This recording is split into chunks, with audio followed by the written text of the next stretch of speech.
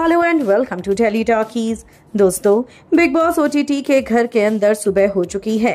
और ऐसे में अब यहाँ पर जिया उदास अभिषेक का दिल लगाने की कोशिश कर रही हैं। आप सभी को पता है कि कल अभिषेक को जो सजा मिली और जिस तरह से अभिषेक की तबीयत खराब है, वो काफ़ी लो महसूस कर रहा है। और ऐसे में यहाँ पर जिया ने अभिषेक को जब देखा तो वो समझ गई उठते ही कि अभिषेक को उसकी ज़रूरत है। और ऐसे में जिया अभिषेक के साथ सुबह सुबह जाकर अपनी प्यारी प्यारी बातों से उसका दिल लुभाने लगी और दोनों एक दूसरे के साथ गार्डन एरिया में वॉक करने लगे। अंदर बैठी हुई पूजा भट्ट और फलक नाज भी ये देख रही थी और उनसे ये सब बर्दाश्त नहीं हो रहा था। वेल इनके पास तो कोई है भी नहीं बिसाइड फुकरा इंसान। जी हाँ अभिषेक के अलावा इनके पास टॉपिक भी क्या है जिस पर ये बात कर सकें? हमेशा अभिषेक को ही तो टारगेट पे रखते हैं। और इसीलिए फिर यहाँ पर बैठकर दोनों ने बड़ी बात बोली। क्या कुछ हुआ? चलिए हम आपको पूरी खबर बताएँगे इस रिपोर्ट में। लेकिन अगर नहीं किया है अभी तक आपने चैनल को सब्सक्राइब, ज़रूर करें और बेल आइकन को भी आप ज़रूर दबाएँ।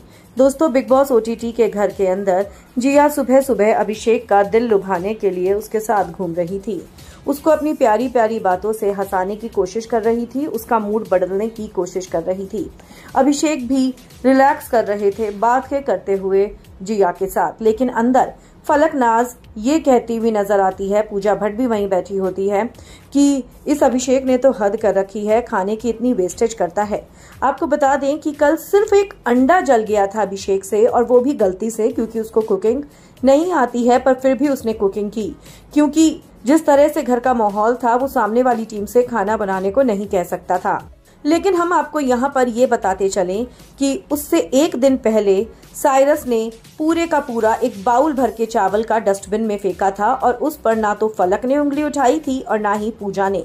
उस समय इनको घर के राशन की या खाने की चिंता नहीं हो रही थी, जबकि खाना जलना एक गलती हो सकता है, पर खाना फेंकना एक गलती नहीं हो सकता।